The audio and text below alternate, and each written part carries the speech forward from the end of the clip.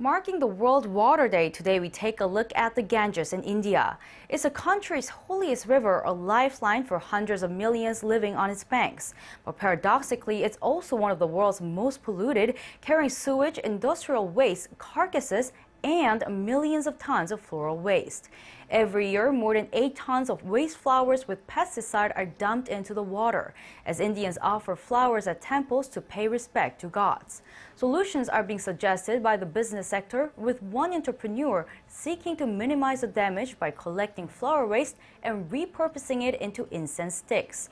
He's also turning the waste into paper that can be planted as seeds later.